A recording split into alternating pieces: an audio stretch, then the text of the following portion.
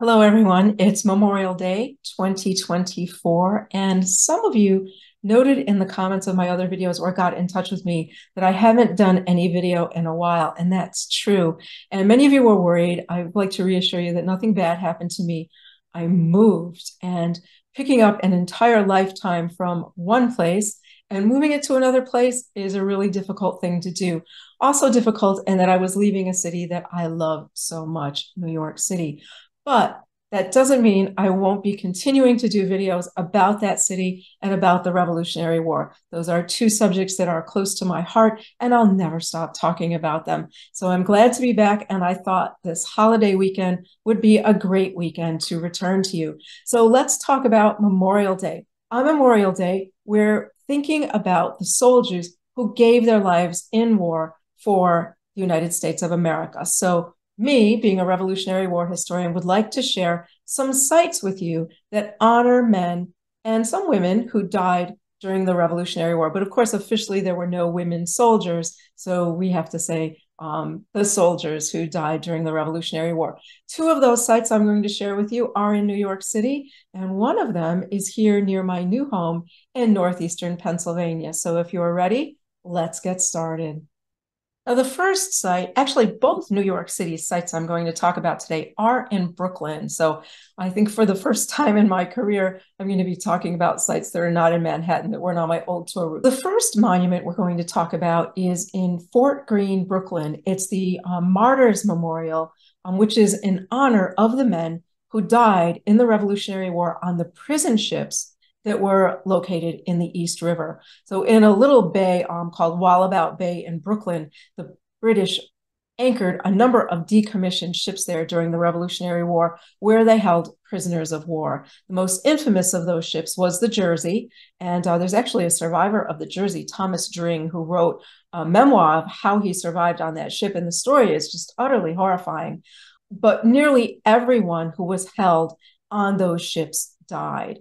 And Captain Dring talks about how every morning he would volunteer for the service to go up to the deck of the ship and throw off the bodies of the men who died during the night before. He said this would afford him an opportunity to get fresh air where normally he had none, only the sickening and stale air on the lower decks of the ships. But what the British did was decommission the ships. They would strip them from the inside, and some of them were warships, which meant on the lower decks, all they had were little tiny portals, right, where the cannon would have stuck out through for air and light to come in. And the men were so crowded in there, they could barely lay down.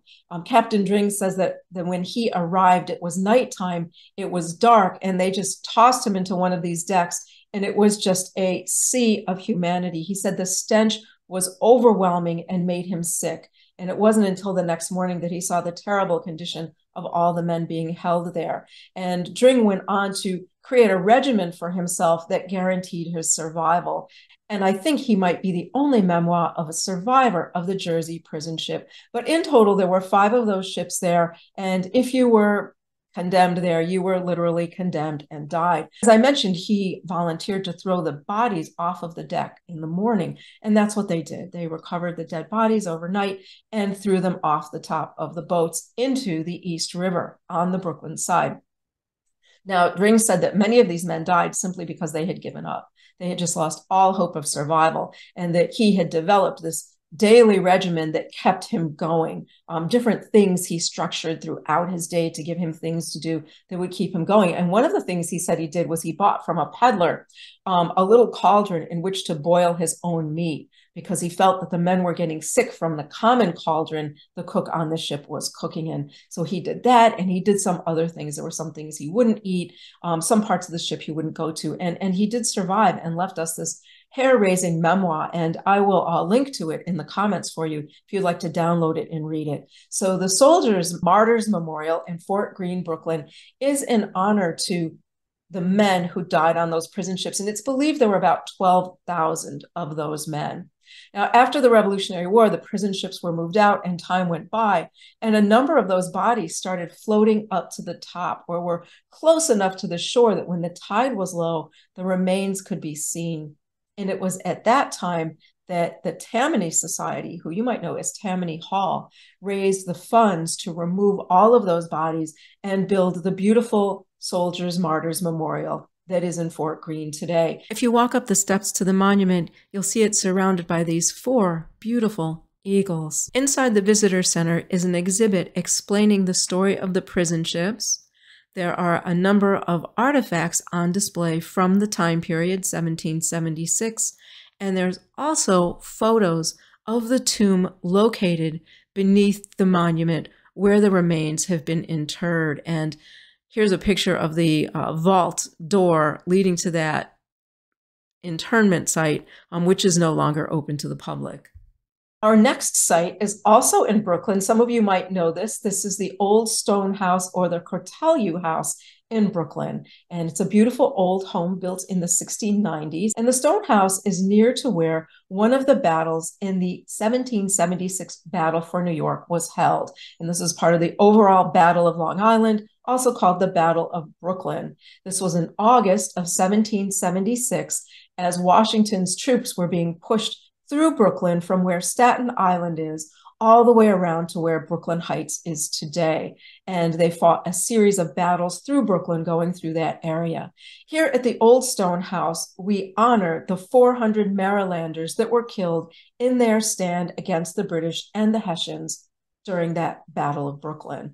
And every year in August, there is a commemorative event. Um, nearby on a hill, Washington watched this battle as the men were slaughtered. Um, many of them were trapped um, kind of in a swampy area and couldn't get out, and they were shot or bayoneted by British and Hessian troops.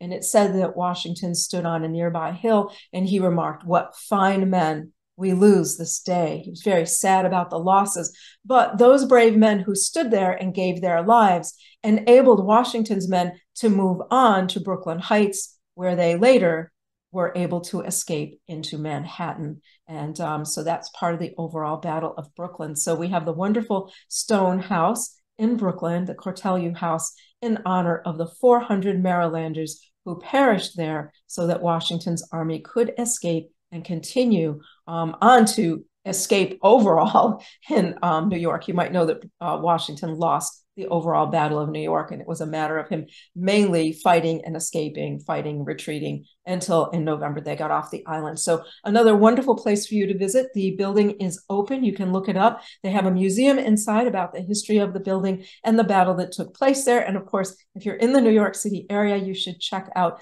the commemoration that happens every August. And uh, I am generally there as Mrs. Q. I don't know if I'll be there this year. I might just take a trip there because it's a very important commemoration. So you just might see me there again this year. The third monument I'd like to talk about today is not far from my new home. It's in the Wyoming Valley of Pennsylvania, which you might know better as the Scranton Wilkes-Barre area. And uh, it is in a town called Wyoming. During the Revolutionary War, there were a series of forts here. This was considered the frontier at that time, part of the frontier. And there were a series of forts here. In 1778, the fort at Wyoming was engaged in a battle with the British and the native tribes who were allied with the British. And in this case, it was Mohawk and Seneca.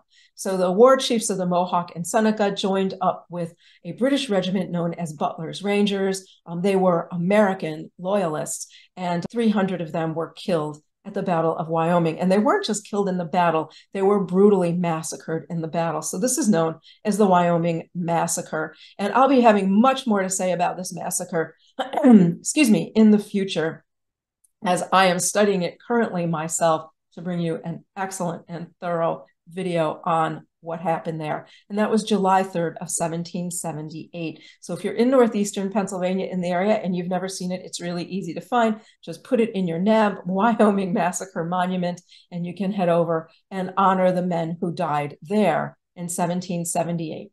So today we're honoring the men who died on the prison ships anchored in Wallabout Bay, Brooklyn, and their monument at Fort Greene. We're honoring the 400 Marylanders who died in the Battle of New York, the Battle of Brooklyn, and their commemoration at the Old Stone House or Cortelyou House in Brooklyn, and the men who perished in the Battle of Wyoming here in northeastern Pennsylvania, honored at the Wyoming Monument here. So I hope you enjoyed that tribute. Please take some time this weekend to think about the soldiers who died in our very first war, the Revolutionary War, which allowed us to separate from Britain and create what today is the United States of America. I hope you enjoyed this, my first video for you from Northeastern Pennsylvania and my new um, my new office, which is really nice. I didn't have space for a nice big office like this in New York. If you liked this video, please like it so it'll get more engagement. Share it with your friends. Subscribe to my channel because I have a whole backlog of video to get out for you. Thank you so much for joining me and enjoy your Memorial Day weekend. I hope you have your American flag out or maybe you have a Revolutionary War flag out as we do. Um, thank you so much. And I'm Karen Q, if you don't already know, and I will see you next time.